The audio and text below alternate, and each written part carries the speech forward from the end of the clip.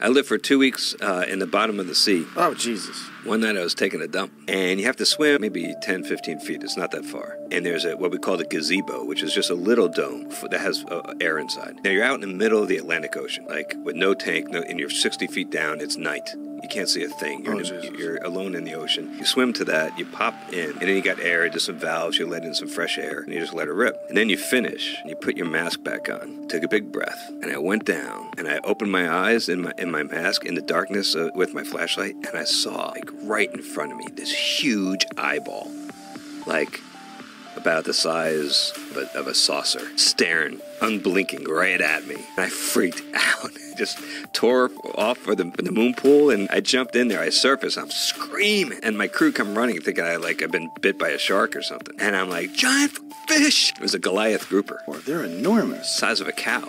Yeah, those things could literally eat a person. Yeah.